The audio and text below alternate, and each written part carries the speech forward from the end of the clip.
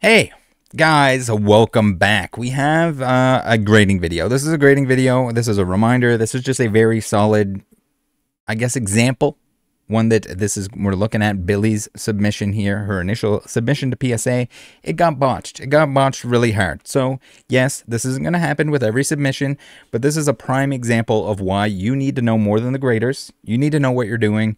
If you're grading your cards, you need to know what you're doing in terms of authenticity, condition, all of that. You need to know that before you grade them. You need to know that if you're buying graded cards, you need to know that because you might have to resubmit them. It's the the sad truth is they're not gonna they, they're not gonna get it perfect every time. Sometimes it's going to be extremely bad. Now this isn't as bad as some of I think Zach Jim Mint Pokemon had a submission that everything in the entire submission just came back as an eight.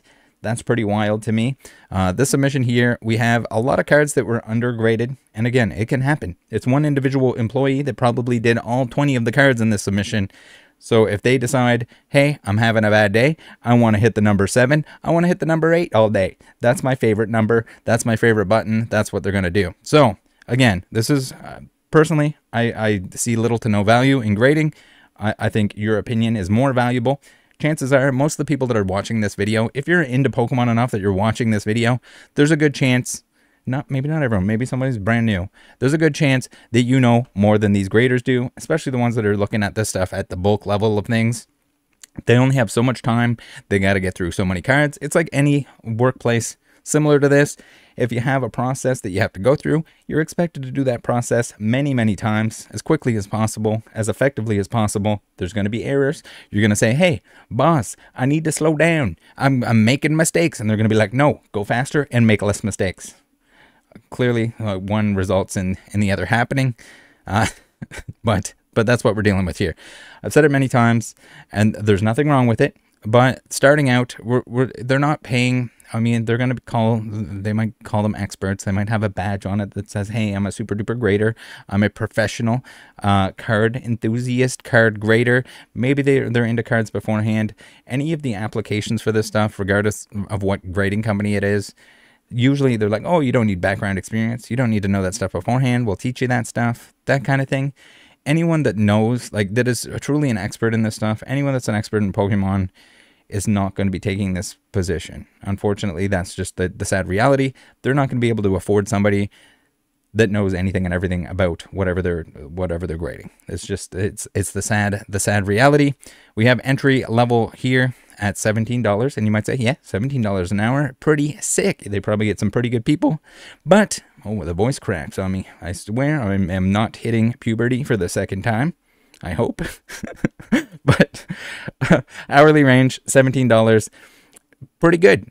Not so much in California, in Orange County that that doesn't go a whole a whole long ways. And again, it's entry level, so yes, as you work up, as you if you work at a company for long enough, there are usually, typically, hopefully if it's run properly, opportunities to move up into other positions. Maybe you start as a grader, then you can become an expert in some other uh, field or section, maybe become a manager, maybe something like that. Uh, maybe even to the extent of, hey, you're going to be you're going to be a head grader, or you're going to be like some uh, someone that overlook. I know I don't know how much the managers overlook that stuff. They always say that like it went to the head grader and we made the decision based on that. I think that's more of just like a, a flex or an excuse. Uh, but regardless, 17 bucks is probably what you're getting. I always hate like the the application forms and or the um, job postings that they're like, oh, you can you can make up to $32 an hour. The hourly range for this position is 20 to 32, and then it says entry level operations positions generally start at $17. You're getting $17 unless you have some kind of crazy experience beforehand. Um, maybe maybe you're a CGC grader and you're you're moving. You're going to be with PSA now. Maybe they take that into consideration. You get more than 17. If you work there for long enough, you probably get more than 17. With the workflow and what I've seen from many of these grading companies, I can't imagine like anyone is going to last very long. Anything like this, warehouse positions, anything like that. I worked in a pharmaceutical warehouse at one point in time. The turnover was insane. I worked uh, when I was in high school. Uh, I worked at a it was like a production facility uh, that created created products. We won't go any any any more depth than that, but like the turnover was insane. Like some people were there for like a night. Like they did one shift, they gone. This is kind of the same thing. It's monotonous. You got 30 seconds probably per card or less to go through and grade these things. You're going to get shit on the next day or like a week from there because your boss can be like, what the hell? Someone's like pissed off because they got all sevens in their submission. Billie is angry. I don't I don't think Billie sent anything angry. Um, I didn't see the correspondence. This is one of the examples that like yes, everyone's going to be like, "Yo, you graded this stuff wrong." But like when uh, with a submission that was botched as badly as this one, this might be something where like even customer service has to do something for an individual. Um, and I wish, I wish, I wish that Billie had um, submit all of these cards, like crack them all and submit them in the same order so that we could have like a before and after of every single one. We don't have that. We have a lot of them that we resubmit, uh, some back to PSA, some to CGC. Um, but uh, that, that's the game you're that's the game you're playing, and you got to know that, and you gotta you gotta take that into consideration. Uh, if you're doing this for financial reasons, if you're selling the cards afterwards, you need to know, hey, what do I got to do?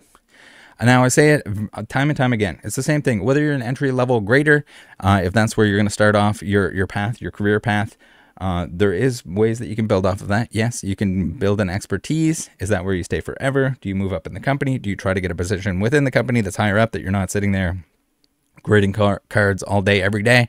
Probably. Same goes with McDonald's. There's nothing wrong with any. I, I've never personally worked at McDonald's, but I had jobs that paid similar to that. When you're in high school, you don't have any work experience. You don't have any uh, necessarily a post secondary education that's required for something else.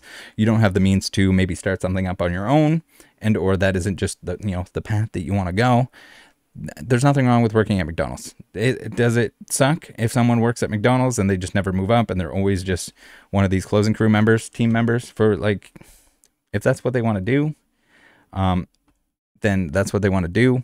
Hopefully, yes, there are opportunities. You can move on from that. Anyone has the ability to better themselves and move on and do something better than a closing crew member at uh, um, McDonald's. So this is in Orange. Uh, so we're like Orange. We're Anaheim.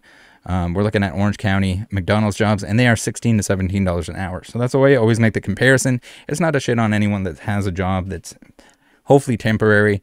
Uh, hopefully they can work their way up. Maybe they maybe they work there. Maybe they become management. Maybe they buy a franchise. Maybe they start something like that. They know the operations inside and out from top to bottom. Uh, that could be a, a great opportunity for someone to make decent money even as a manager, um, probably uh, you're not making seventeen dollars an hour in Orange County. That would be that would be pretty sad as a manager, or if you move up within any of these companies. But rest assured, there's probably a lot of these seventeen dollar an hour employees at PSA, at CGC. I don't know what CGC pays starting out. Um, but regardless, if it's somebody that's new to it, somebody that's getting into it, they're going to make mistakes. Everyone makes mistakes. Grading is very subjective extremely subjective. No, the AI stuff is not actual AI. It's just scans, and even that is hit or miss with consistency and, and what is eye appeal and everything else. It's it's a whole mess. So we are picking on PSA a little bit today. Um, but this, uh, rest assured, this could happen anywhere. This could happen with any of the companies. You need to know what you're doing. This is the perfect example of you need to know what you're doing. They've all graded fake cards altered cards, stuff like that. They've all done it. Every single one of them. There isn't a grading company that exists. Maybe XYZ grading. Uh, that's no no one's ever submit a card to them uh, because it's in some dude's garage and he's just all he's doing is uh, putting his own cards in a case. Who knows? But any of the big guys, they've all made mistakes. They will all continue to make mistakes, uh, and it's up to you. It's on you uh, to to educate yourself and know same with counterfeits, same with condition.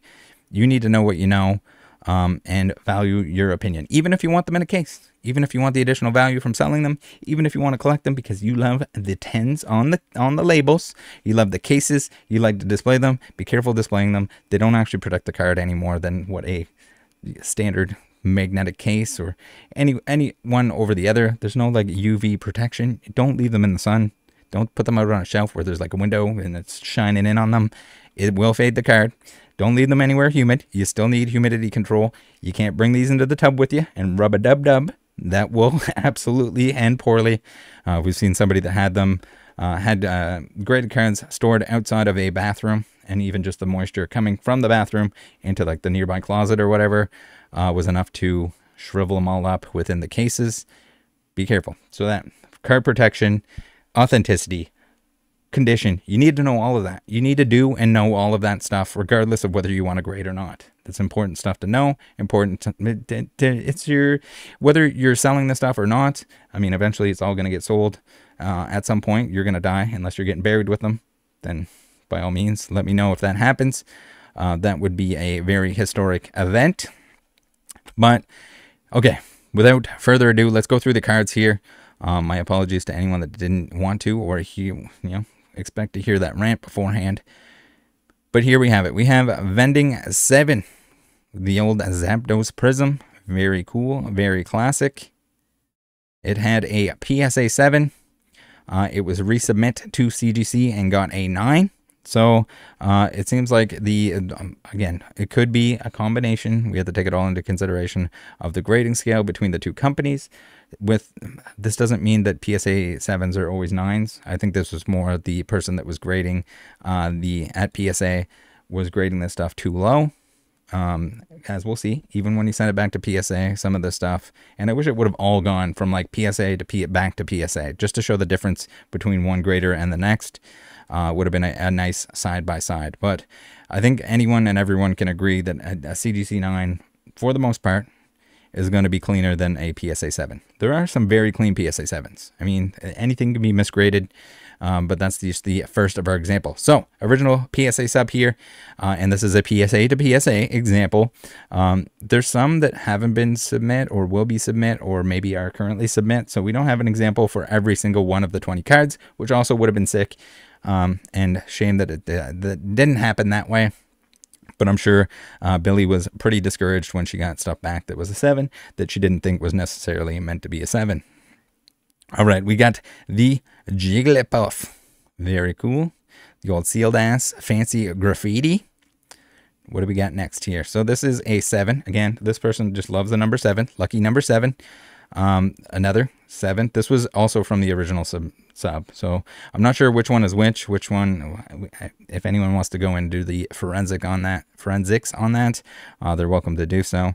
Uh, very hard to tell these these cards from one from the other, other than like the edges and stuff like that uh, maybe centering slightly. We'd have to overlap them. We're not going to do that. All we need to know is the fact that I went to CGC.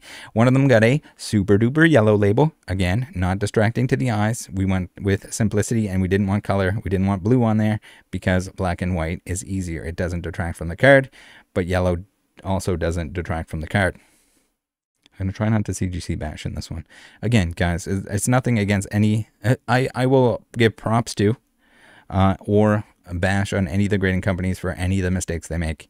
Doesn't matter which one. I don't grade with any of them. I'd like to think that I'm somewhat biased in that regard, other than the fact that, like, clearly, uh, my opinion is that I I don't want to grade. I don't I don't place value in this stuff. Like, sure, I get it. It's easier to sell. There's going to be less disputes if you have it in a case and this is the grade on it. Even then, sometimes stuff is like misgraded or some of the stuff that's in worse condition that maybe it shouldn't be. Uh, there's there's plenty of times where you have oh, this isn't a 10. This is I know it says 10, but it's not a real 10. Some people are fine with that. Some people are like, what the hell? I don't want a fake 10 all, comes down to like preference or anything like that. So we got the the biggest of the bonerist labels on the Jigglypuff here.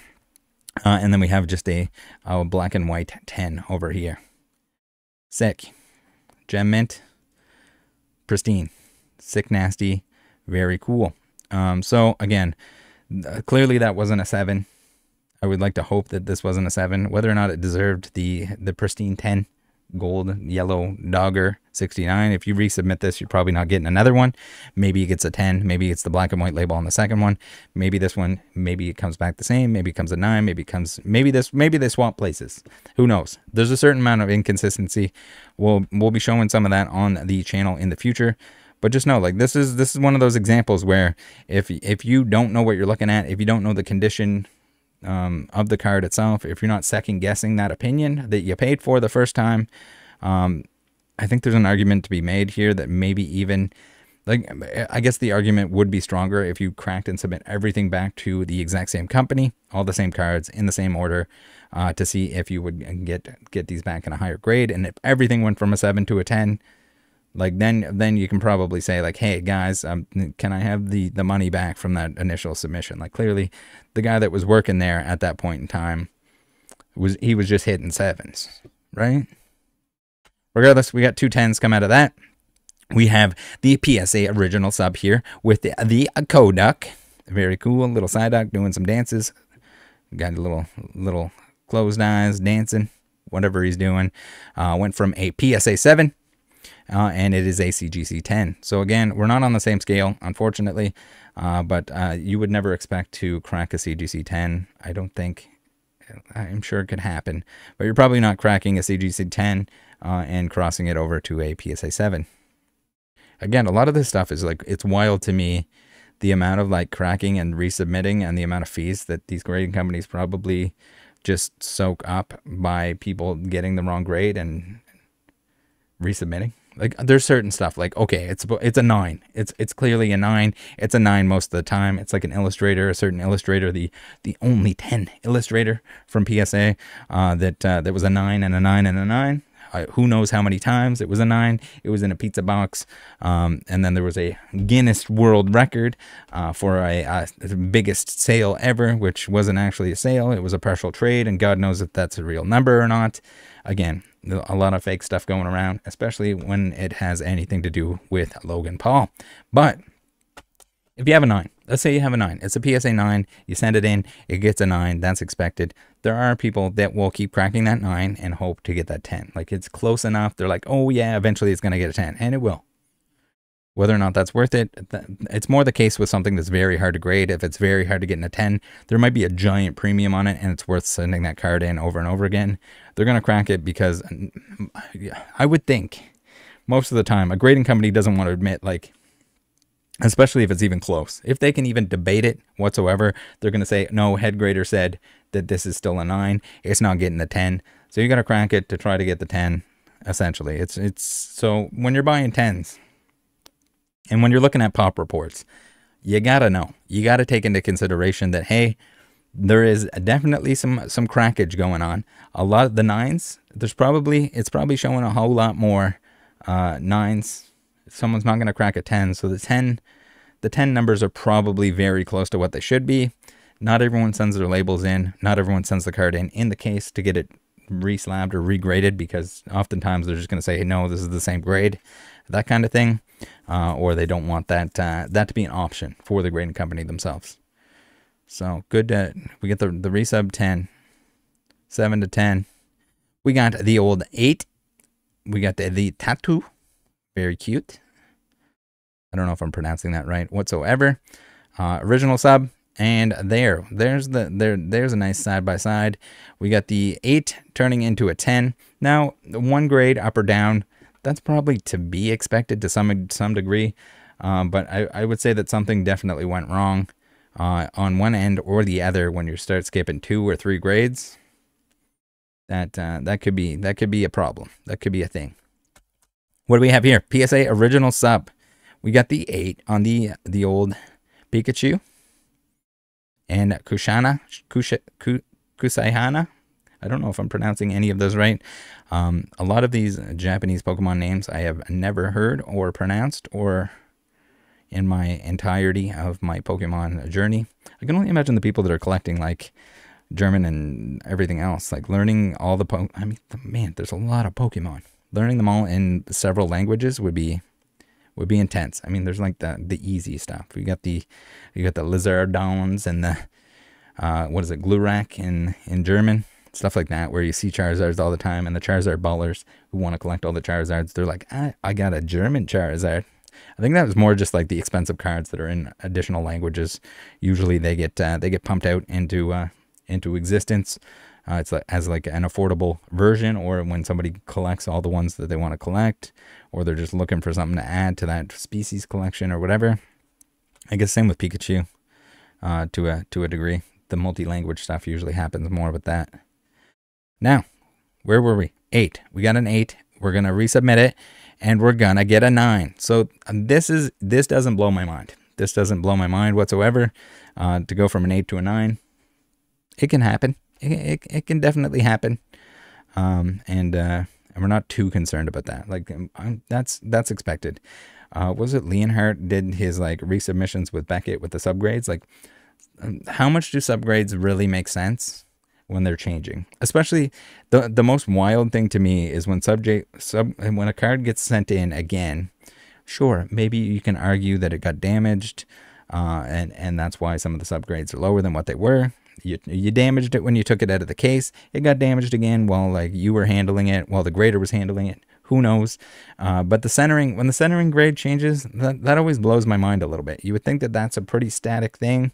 I mean, cl- clearly, like you're not, people are hopefully not trimming Pokemon cards. Uh, hard to do so with because of the the, the curl, the uh, the curved corners here. But you never know. Tops, be careful. Um, old sports cards, be careful. Anything that's square, I guess. Mostly be extra careful. Now, we have the PSA original sub for the old Togepi on a stump. Very cute, very classic. It got an 8. I got the resubmission as a 10. So that's where that's where that's a stretch. An 8 to a 10. Um, I've seen a lot of 8s, and usually there's some kind of flaw on them that results in them being an 8. I, 8s, I love 8s. I don't keep them in the case. But if I can find a nice 8 and it's the same price as a near mint card, especially on something that's hard to find like near mint copies of, because if it's valuable, if it's something like a base set first edition hollows uh, or anything like that, uh, the more expensive stuff, then uh, sometimes, you know, it's hard to find in anything other than or like gold stars or something at this point. Pretty hard to find them raw. Everyone's like oh it's a gold star. I better grade it even if it's gonna be a six or less but uh, there we have it. That's a pretty egregious example. Last one before I let you guys go. We have a nap time slumber party to the extreme. Love that card. Too bad the the artwork on the slumber party wasn't the entire card. I think the other stuff kind of detracts from it. Uh, by the way, if you're looking for to buy stuff like this, you should probably be uh, shopping around on Billie's eBay. Should probably shop around on Billie's eBay. I'll leave a link to that down below in the description. Hopefully she's all right with that. Uh, but uh, if you guys want to check it out, she has and uh, grades and purchases and, and goes through a lot of this. Uh, she's into the obscure Japanese stuff. Very cool. She's tormented me recently because I told her that I wasn't gonna collect anything Japanese. And now we're now we're collecting we're collecting verses. We're opening and collecting verses. Uh, on Tuesday we're gonna have a stream. It's gonna be pretty sick. I got a couple couple fighting psychic uh, versus packs that I definitely shouldn't open, but we're going to anyway. Uh, and then a bunch of other stuff that uh, that will be heading her way uh, in terms of like Japanese kind of lots, like bigger lots or whatever. Uh, so tune in for that. Probably also some uh, an Ultra Prism pre-release case that we're gonna open. Um, just to, to fill out. We'll, try and make the, the stream at least a couple hours. All right, seven. What was it? It went to CGC. Uh, another another golden super super goose to the extreme. So can you can you see how I, this is the moral of the story here. You got to be careful. You got to know what you're doing. Uh, it benefits you greatly to know what you're doing because the price on this card versus the price on a seven, probably night and day. Uh, and uh, yeah, they're the same card. It's got different plastic around the outside um, different grading standards, different submission, different grading company. But again, like I think even if this was sent back to PSA, it could have it could have achieved a 10 as well. It just all depends on which $17 grader you're getting. Um, and again, no offense to them, they got to start somewhere. Uh, and hopefully, for for all of their sake, that they uh, they progress, uh, whether it's through grading Pokemon cards, uh, whether it's through grading in general, collecting. Maybe they start a side business uh, and they, they pump it up. Uh, surely with the expertise that they gain from that and uh, from, I guess, learning whatever, you know, hopefully they have time to learn about the stuff that, uh, that they're, that they're grading. Uh, they can, they can move into something else uh, and be successful. All right, guys, that's it. Join the Discord. See you next time. Bye.